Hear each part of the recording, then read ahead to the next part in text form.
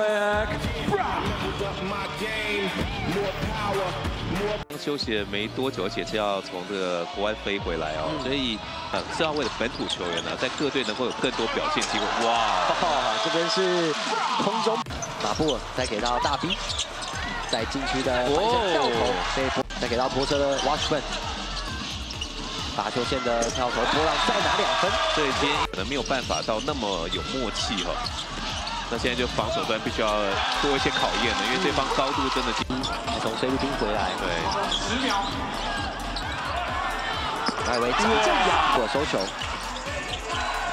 Randy 进来，左手挨了布朗的火锅。他如果上来能够控场，可是其他人先帮他带一下球。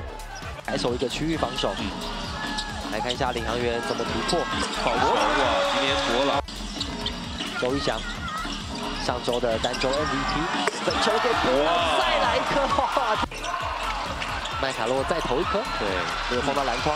前面博朗跑快攻，接球双手扣篮，哈哈，这是桃园范谷啊！对，你会发现对手绝对是，就是说在他的运球过程当中，想办法让他多费一点力气哦。嗯，来看一下这一个。双手的飞扣，嗯，球迷说他长得像这个画作范古啊，是告诉他怎么样把身体保养好很重要。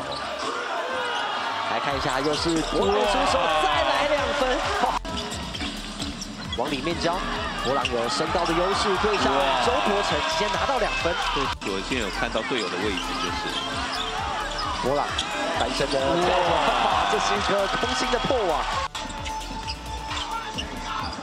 博朗，哇，换个篮筐还是很准呐。对，我目前对自己的攻击是更加有信心哦。哇，这边博朗，最后没有补进，篮底下还是吉尔贝克。哇！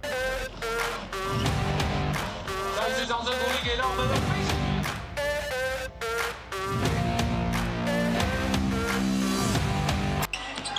接球后，现在来突破挑战篮筐，篮底下博朗捡到这一球啊，白进分数。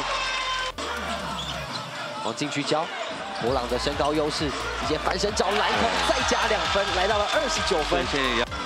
他们算一组，然后马布尔算另外一组。这个战术的走位啊，让博朗在一个好的位置接到球，但这个 N one 没有。